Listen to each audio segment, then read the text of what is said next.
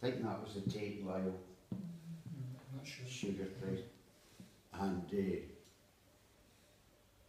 then they started taking big grabfuls of sugar out, filling up railway wagons with it. Until we got within about 15 feet at the bottom. And then the grabs were just going like that.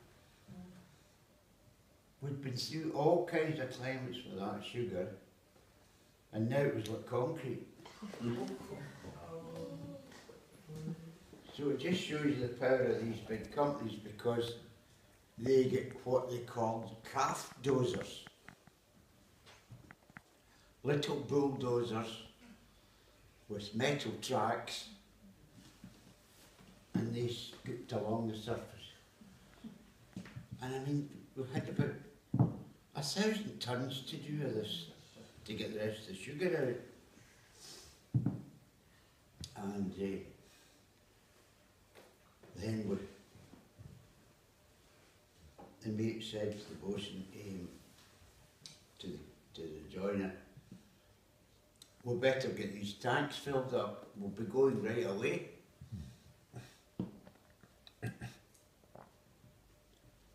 So away, away the chippy went and started filling the tanks.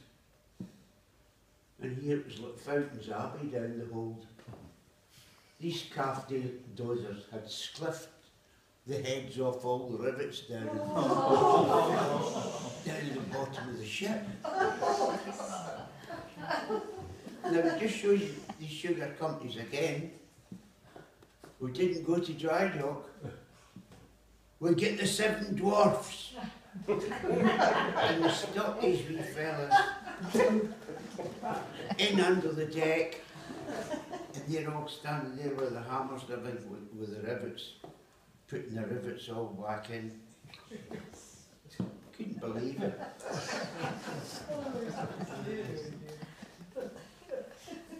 Things are thought out.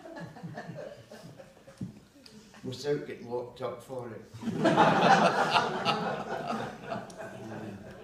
Well, that wouldn't be very pleasant because there'd been the double bottoms. If They, they were, these wee guys were, Uh-huh. where they got all the what dwarfs, I don't know. Just, just one appeared in the television, Uh-huh. a comic now, and he's made a blooming fortune. Just shows you know. Also talking about a ship that you were on going down the, the east coast, I presume, of the UK, and the propeller fell off. That was the hook. When I went away in the Holly Park, they had a, a young crew, an old bosun, an old chippy, and one old sailor, and the rest were all young. Mm-hmm. And we went away to do that two-year trip in New Zealand.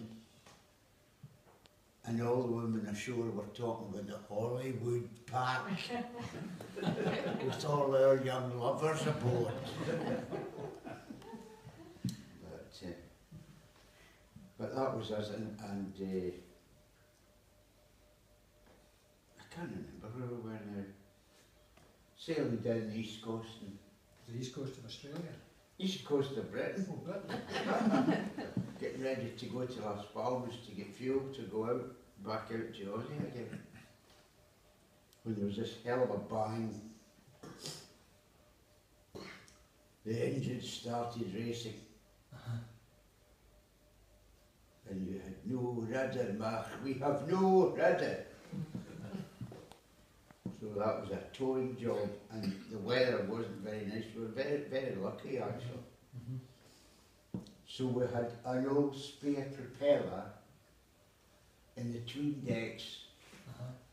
and number four hatch.